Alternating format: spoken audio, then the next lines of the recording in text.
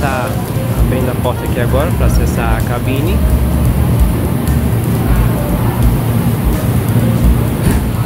Botando condição de cabine líder. Colocando a chave na reversora, botando a reversora para frente. Vai liberar o aviso sonoro.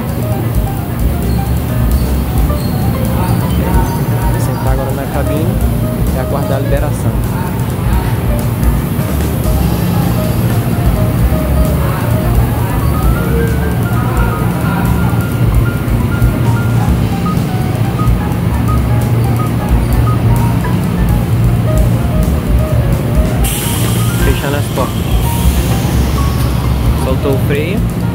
Pronto. Esperando só a liberação ali. Pronto. Deu ponto. E aqui ele vai embora.